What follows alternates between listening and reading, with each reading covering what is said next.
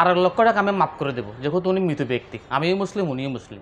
চার বছর আগে উখিয়ার কোটবাজারে চাকরিরত চকরিয়ার যুবক শাহনওয়াজ করিমের সাথে সখ্যতা হয় স্থানীয় শফিউল আলম শফিকের।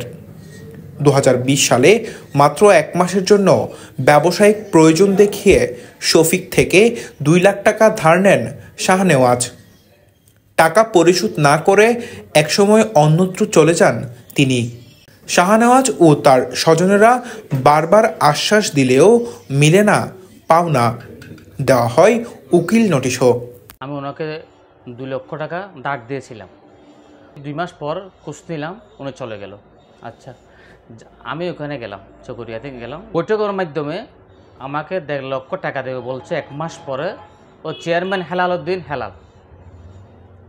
ওনার থেকে টাকা খুঁজি ওনার টাকা আমি দেবো। আমার আপন বাগিনের টাকা আমি দিয়ে দেবো তুমি টাকা খুঁজবা না। আমার সাথে তুমি কথা বলবা। এরপর দেবে দেবে কিন্তু এখনও বলে আর দেয় না। শাহনেওয়াজের মামা চকরিয়ার ফাঁসিয়াখালী ইউনিয়নের চেয়ারম্যান হেলাল উদ্দিন জানান পারিবারিক বৈঠকে সিদ্ধান্ত হয়েছিল টাকা ফেরত দেওয়ার উনি শাহনওয়াজ জীবিত থাকা অবস্থায় ওই যে শপিং না কিনা শপিং না কিনা তার সাথে আমাদের বৈঠক করেছিল বলা হয়েছিল যে সে যেহেতু একটু ঝামেলা করছে টাকাগুলো সে কিস্তি করে দিয়ে দেয়। কিন্তু সে এখান থেকে এটা ওই বৈঠকের সিদ্ধান্ত মেনে বাসায় চলে গেল। আমি সরি এটা নিয়ে আমি কথা বলতে চাই না ভাই।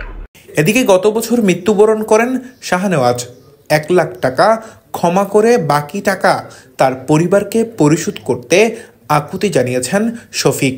একটা মৃত ব্যক্তির জন্য ছাড় আছে আমি যদি সে একজন থেকে টাকা পাই, উনি যদি সে মারা গেলে, আমি যদি সে ক্ষমা না করে, আমার আল্লাহ ক্ষমা করবে না। আমি বলছি, এক লক্ষ টাকা আমাকে দাও, আর এক লক্ষ টাকা আমি মাফ করে দেবো, যেহেতু উনি মৃত ব্যক্তি। আমিও মুসলিম, উনিও মুসলিম।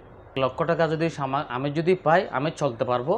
আর ওই শাহ নওয়াজ করিমের ফ্যামিলিতে যথাযথ ওনার সম্পদ, গাড়ি, বাড়ি, জায়গা সম্পদ প্রচুর পরিমাণ আছে, আমি দেখছি। অর্থনৈতিকভাবে ক্ষতিগ্রস্ত হওয়া শফিকের প্রত্যাশা স্বাবলম্বী শাহনওয়াজের পরিবার তার দেনা মেটাবেন। Desk report চিচিএন